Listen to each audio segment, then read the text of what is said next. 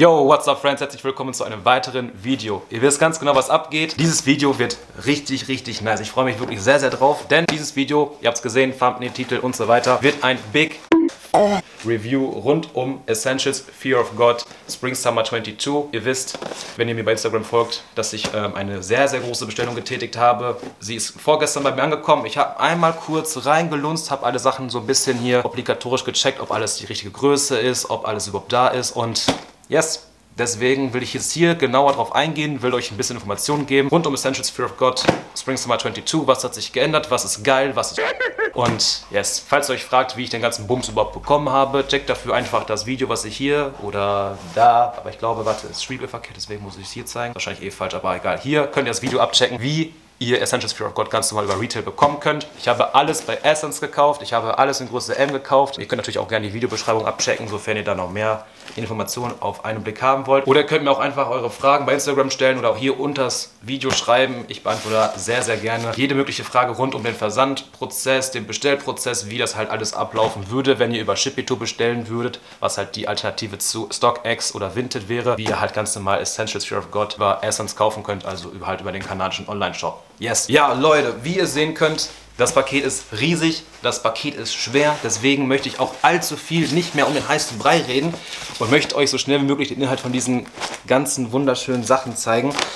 Neun Pieces sind es insgesamt, die ich bestellt habe über zwei verschiedene Bestellungen, wovon acht Personal für mich sind. Das neunte Piece, beziehungsweise ein Hoodie, ist nicht für mich, der ist für den lieben Stefan. Ich weiß, dass du das Video sehen wirst und ähm, ich kriege keinen Shoutout, dann weißt du Bescheid kannst dir den Bums das nächste Mal selber kaufen. Aber ich hoffe natürlich, dass der Hoodie, sofern dieses Video schon online ist, schon bereits bei dir angekommen ist, dass du happy damit bist, dass er dir passt und so weiter und so fort. Oder was tippe ich hier meine Tastatur ein, ja? Jetzt muss ich erstmal hier den ganzen Scheiß wieder löschen. So Leute, Karton ist empty dumpty und bezüglich der ganzen Versandkosten, Zollumrechnungskosten und was ich richtig nice finde, das weiß ich selber noch nicht, wie das aussehen wird. Ich werde im Laufe des Videos wahrscheinlich zum Ende hin so einen Kostenvergleich zu machen von halt all den Kosten von Shipito, die mir entstanden sind mit Zoll, Umrechnungskosten, Versandkosten und so weiter und so fort zu StockX, wie halt dort die Kosten aussehen würden, wenn ich mir halt jedes der Pieces einzeln über den Resell, zu den aktuellen Resell-Kurs halt kaufen sollte, wie dann halt dort dieser Kostenvergleich ist, ob halt Shipito die bessere Alternative ist oder ob es vielleicht bei StockX günstiger ist. Da habe ich noch gar keinen Plan. Von daher bin ich da sehr, sehr, sehr selber drauf gespannt. Äh, ich hoffe natürlich, dass Shipito die günstigere Alternative ist. Ähm, und ganz, ganz, ganz wichtig, das habe ich auch noch komplett vergessen zu erwähnen. Ich habe ja gesagt, acht Pieces von der ganzen Kollektion, von den Sachen, die ich mir gekauft habe vor zwei Wochen, sind für mich personal. Ich weiß aber jetzt schon, dass ich davon mindestens zwei Sachen nicht behalten werde. Von daher checkt auch gerne unten das angepinnte Kommentar von mir. Da mache ich nämlich so hier so Want to Sell, Ask. Ähm, an diejenigen, die eventuell interessiert sind, schreibt mir einfach einen Kommentar oder schreibt mir einfach bei Instagram. Ich werde auch anpinnen, wenn das Teil dann sold out sein sollte. Was es sein wird, das werdet ihr jetzt hier im Laufe dieses Videos erfahren. Und jetzt, ich glaube, ich habe zu viel um den heißen Brei geredet. Ich zeige euch jetzt erstmal den ersten Bums. Let's go. Beziehungsweise, hold on, no, no, wir starten noch nicht direkt rein ins Review. Ich möchte euch vorher noch mit anderen wichtigen Informationen auf die Nerven gehen. Nämlich für all diejenigen, die doch Lust haben und sich doch Sachen kaufen möchten über Vinted, Grailed oder doch Ebay und hier vielleicht jetzt doch noch eine sichere Quelle mit rausnehmen möchten. Ich habe eine Information für euch, sodass ja eventuell nicht abgerippt wird, nicht abgezogen wird und so weiter. Die neuen Dustbags von der Spring Summer 22 sind nicht mehr beigefarben, wie sie halt von Spring Summer 21 zu Fall Winter 21 waren. Davor waren sie ja transparent. Ich werde einfach ein Bild hier einblenden, wie halt so die ja, Bag-Historie von den Dingern ist. Die sind jetzt hier mit der Spring Summer 22 vom ersten Delivery Drop. Sind sie jetzt so, ich sag mal, kohlefarbig. Schwarzes Essentials Fear of God auf der Vorderseite und auf der Rückseite halt. Im Endeffekt ist der gleiche Bag, nur halt ein bisschen dunkler. Hier sind die Produktangaben, Artikelcode und so weiter. Das nochmal ganz wichtig so zur Info und eventuell auch wichtig für euch, sofern ihr Produktbilder seht bei Vinted oder so weiter und euch die Sachen ein bisschen komisch vorkommen. Das hier ist das Tag, was benutzt wurde, ich meine von Anbeginn von Essentials Fear of God, also mindestens von Fall Winter 19 bis hin zu Fall Winter 21. Das kennt ihr, glaube ich, hier grau mit diesem off-white farbigen Ton, was ganz leicht reflektiert, mit so einer schwarzen Kordel und halt auch so eine schwarze, was ist es, Büroklammer, Büronadel. Die sind jetzt hier mit der Spring Summer 22 anders. Die sind jetzt halt beige mit einem schwarzen Essentials Fear of God drauf, einer weißen Kordel und einer, ja ich sag mal, beigefarbenen oder weißen Büronadel. Bitte fokussiere. Ja, so hier könnt ihr es besser sehen. Ist jetzt beige und hier die Rückseite, die ist plain. Hier ist nicht der Sticker drauf, weil der Sticker sollte sich hier entweder drauf befinden oder halt auf diesem Tag, wo bei mir halt jetzt hier Man steht. Das wird sich auch unterscheiden zu den Produkten halt von der Kids Line und zu der Women Line. Da sind die Sachen dann halt mit einem Women versehen oder halt mit Kids. Aber hier, ich dachte mir einfach noch, das ist ganz nice to know für diejenigen, die sich etwas kaufen möchten, halt doch über den Resale-Markt und vielleicht sich doch nochmal hier eine Versicherung holen möchten, dass halt die Sachen nicht gefaked sind. So Leute, jetzt aber starten wir rein ins Review. Ich habe keine geplante Reihenfolge, habe keine Ordnung und so weiter. Ihr seht hier selber, das liegt hier kreuz und quer. Aber jetzt starten wir rein ins Review. Wir haben hier auch schon eins der ersten Highlight Pieces und wir haben nämlich hier die Relaxed Sweatpants in dem Colorway Weed. Weed. Wet. Ich weiß nicht, wie es ähm, in der Kamera zur Geltung kommt, aber der Colorway ist wirklich super schön. Es ist ein sehr, sehr angenehmer Beige-Ton, super schöne Sweatpants, Fitbilder und so weiter werde ich einblenden. Information for you, ich habe diese Sweatpants doppelt gekauft. Aus Versehen, ich weiß nicht wie. Deswegen, einer hiervon, von diesem Colorway, wird auf jeden Fall unten angepinnt sein. Falls ihr Interesse daran habt, meldet euch bei mir und so weiter und so fort. Es ist im Endeffekt der gleiche Schnitt, also wenn ihr Größe M bei den alten Sweatpants habt, geht auf jeden Fall true to size. Ich bin bei allen Größen True to Size gegangen. Bei einer ist es ein bisschen nach hinten losgegangen, aber das werdet ihr gleich sehen. Wir haben hier vorne jetzt nicht mehr nur Essentials als Gummipatch drauf geprintet, drauf gestickt auf dem Intimbereich, sondern Essentials und kleiner drunter Beer of God. Super schön clean, auch generell die Pants, auch wenn ich sie jetzt gerade ausgepackt habe, hier sind halt ein paar Flusen und so weiter, ist trotzdem makellos. Jedes Tag, das ist bei allen Produkten, sollte dies halt dran sein. Wir kommen direkt zu einem Punkt, der mich richtig getriggert hat, nämlich ich werde es einblenden von den alten Essentials Fear of God Produkten konnte man ja immer gut ran erkennen, was halt die Fakes sind, was nicht die Fakes sind, weil die Fakes waren halt ein bisschen räudig, was die Verarbeitung angeht von den Tags, von den Care Tags, von den Size Tag und so weiter und so fort. Und da muss ich jetzt ehrlich sagen, das gefällt mir gar nicht so, wie das halt jetzt hier bei der Spring Summer 22 gemacht wurde. Ich finde, das ist ein bisschen billig, weil nämlich bei den Originalen war es so mit von der Frau Winter 20 noch der Fall oder Spring Summer 21, dass halt die Size Tags, die hier und diese Tags hinter der Naht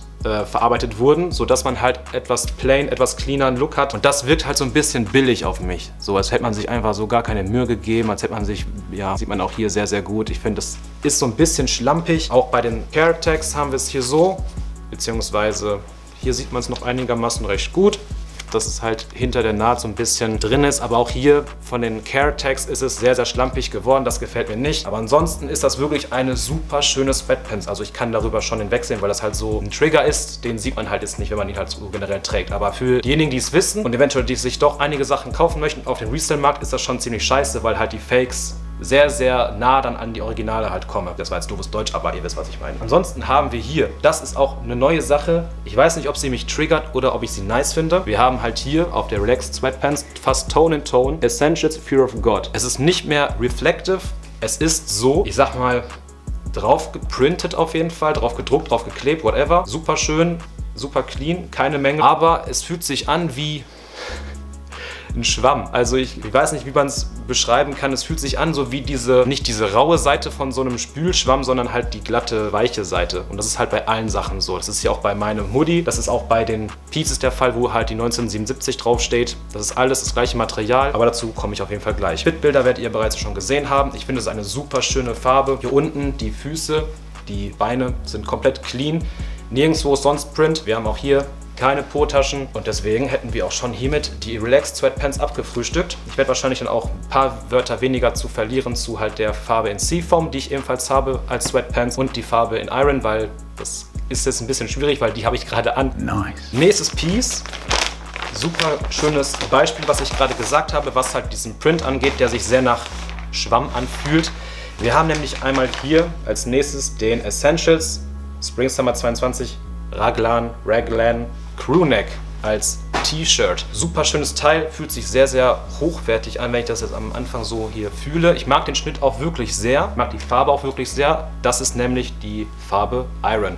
Und es ist nicht schwarz, also es ist nicht schwarz-schwarz. Es ist im Endeffekt so, ja, wie soll ich es beschreiben? Wenn halt das Licht sehr, sehr gut drauf fällt, ist es auch schon fast ein ganz leichtes Braun. Ihr seht das bei dem Bild von Instagram sehr, sehr gut, weil ich halt die Sweatpants auch in Iron habe und ähm, ich werde auch ein Bild einblenden, was halt den Kontrast gut zeigt zu halt dem wirklich schwarzen Colorway. Yes, wir haben hier sehr, sehr groß drauf geprintet, diesen Schwamm, diesen Sponge-Print, sage ich jetzt einfach mal. 1977, was für das Geburtsjahr steht von Jerry Lorenzo. Ich dachte am Anfang, es wäre halt drauf gestickt, dass halt hier anhand der Zahlen schön feiner Stick ist.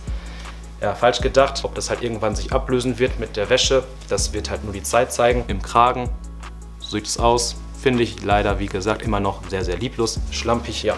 Und auch das hier, kann ich direkt schon sagen, ist ein Piece, was halt unten angepinnt in den Kommentaren landen wird, weil nämlich das Größe M ist. Wie gesagt, ich habe alles in Größe M und das Teil fittet mir ein bisschen zu klein. Ihr seht es anhand der Fitbilder, es ist ein bisschen, ich mag den Schnitt einfach nicht, deswegen verkaufe ich das Teil einfach wieder für den Retailpreis, wie ich es auch gezahlt habe. Auch hier typisch so wie bei so einem Sweatpants haben wir hier halt einen etwas dickeren Saum als T-Shirt-Öffnung. Hier unten der Saum auch sehr, sehr nice.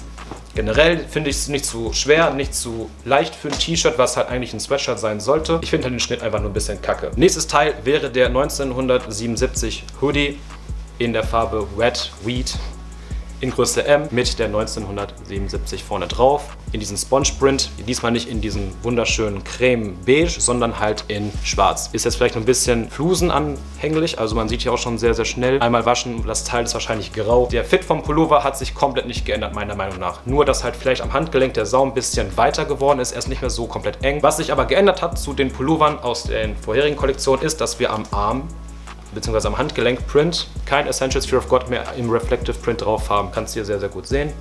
Es war ja immer am, Hand, am, linken Handgelenk, war immer Essentials Fear of God im Reflective Print drauf geprintet. Ab Dezember 21 in der Core Collection war das Essentials Fear of God ein bisschen kleiner als halt das Vox Chest Logo. Aber ansonsten ist das halt wirklich, wie gesagt, ich mag die Farbe wirklich sehr. Und was ich super clean finde, das ist so äh, dieses eigene Satisfying. Ich finde es super clean, dass halt hier in der Kapuze das Gummiprinting, das Gummistitching fast Tone in Tone ist, auch in einem sehr, sehr angenehmen Beige-Ton, auch Essentials. Fear of God sieht man hier sehr, sehr schön, ist super schön verarbeitet. So Leute, weiter geht's. Nächster Colorway hat mich am meisten überrascht, muss ich ehrlich sagen. Nämlich ist es der Seafoam Colorway. Hier Relaxed Sweatpants, gleicher Colorway wie halt mein Pullover, also beides ist Seafoam. Kommt wirklich in der Sonne super krass. Ist sehr, sehr angenehm, recht, ja ich sag mal jetzt so eine richtig schöne Frühlings-Sommerfarbe.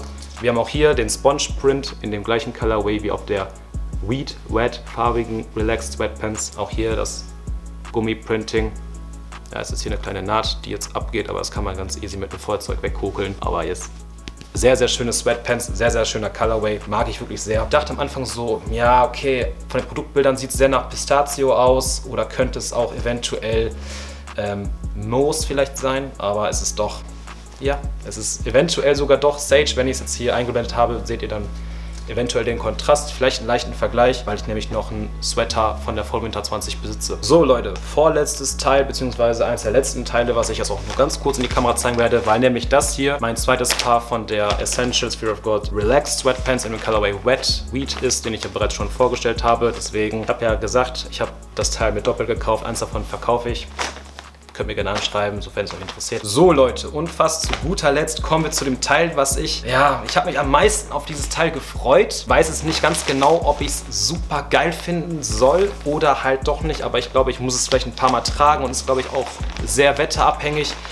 Nämlich fand ich dieses Teil so, so schön, als ich es gesehen habe. Nämlich ist es das Polo, das Langarm Polo mit dem weißen Kragen, der beigen 1977 drauf. Hinten wieder ganz easy, Tone in Tone, fast schwarz. Super angenehmer Stoff, ist fast, also es ist auch der gleiche Stoff wie bei dem Langarm-T-Shirt. Nicht zu dick, nicht zu dünn. Und ich dachte halt, weil ich nämlich das Wrangler T-Shirt, Sweatshirt zuerst anprobiert hatte, dachte ich mir so, scheiße, weil das halt der gleiche Stoff sein wird oder ist, wird das Teil mir auch zu klein sein. Aber vom Fit her, ich sag mal oben, komplett rundum, ist das wirklich ein sehr, sehr angenehmer Schnitt. Der gefällt mir wirklich sehr und ich mag auch wirklich, dass halt hier dieser Kragen halt so ein bisschen, nicht BWL-Justus, aber ihr wisst, was ich meine, es ist ein bisschen legerer, ist ein neues Teil so, weil sonst immer der Kragen Tone in Tone zum Colorway war. Er ist halt nur ein bisschen zu lang, also er geht sehr, sehr in die Länge und ein bisschen sehr ins Boxige. Fitpics werdet ihr, wie gesagt, alle sehen. Ihr könnt ihr mal gerne aber auch eure Meinung zu der ganzen Kollektion unten in die Kommentare schreiben. Wie fandet ihr es, dass mal endlich ein bisschen Abwechslung reinkam, was die Pants angeht oder auch was die Jacken angeht. Diese Half-Zip-Puffer, äh, Pullover, die sind sehr, sehr, sehr schön. Ich glaube nur halt ein bisschen hier in Deutschland zu warm, um sie halt wirklich zu tragen, außer die können halt sehr, sehr gut als Winterjacke performen. So, das war im Endeffekt auch das letzte Teil, was ich so richtig gut in die Kamera zeigen kann, weil nämlich die letzten beiden Teile, den Seafoam Hoodie und die Iron Relaxed Sweatpants, ich gerade anhabe, aber ihr könnt das gerne bei Instagram abchecken. Die Iron Sweatpants ist vom Tragekomfort genauso wie die anderen beiden, also die Wet Farben hatte ich schon an, die Seafoam werde ich ja Ihr seht es anhand der Produktbilder, aber ich denke mal, da wird sich nicht sehr viel tun. Der Unterschied zu der Iron Sweatpants ist halt, dass bei dem linken Bein oben nicht Essential Spirit of God steht, sondern eine 1977. Das finde ich ein bisschen kacke. Wäre nice gewesen, wenn eventuell so in diesem schönen Beige-Ton auch Essential Spirit of God dort gestanden hätte. Aber wer weiß, vielleicht kommen ja bei dem zweiten, beim dritten Delivery-Job andere Colorways raus. Jo. Ansonsten, der Hoodie gefällt mir wirklich sehr gut. Ich mag den wirklich sehr und jetzt wüsste ich nicht, was ich sonst noch alles sagen sollte, beziehungsweise ich werde jetzt, denke ich mal, zu dem Kostenvergleich kommen. Ich werde nämlich jetzt einfach hier einblenden. Ich weiß es nicht, ob ich mich jetzt freuen darf oder nicht freuen darf, weil halt bei Shipito die Kosten sehr, sehr teuer gewesen sind. Also ich habe, glaube ich, für knapp alle Sachen hier bei Essence ganz normal 900 gezahlt, glaube ich. Dann halt 128 Euro umgerechnet Versand. Bisschen doof, dass ich jetzt im Endeffekt einfach hier das Bild ablese, aber ihr wisst ja Bescheid. Von daher, falls ihr wie gesagt noch nicht wisst, wie ich den ganzen Bums bekommen habe, dann checkt dazu gerne das Video ab, was ich gemacht habe, wie ihr Essential Sphere of God als Europäer, Deutscher oder Engländer halt bekommt und so weiter. Das wäre es im Endeffekt dann auch mit dem Review gewesen. Ich hoffe, es hat euch gefallen. Wenn es euch gefallen hat, dann gerne lasst dem Video ein Like da, teilt es mit euren Freunden, weil dann sehen es so mehr und eventuell für die Leute, die sich auch für Essential Sphere of God interessieren, ist das Video auch, denke ich mal, eine sehr, sehr große Hilfe. Und yes, das wäre es mit dem Video gewesen. Lasst den Kanal gerne ein Abo da, sofern es euch gefallen hat und ihr gerne mehr Videos von mir sehen wollt. Deswegen sehen wir uns beim nächsten Mal. Haut rein. Ciao, ciao.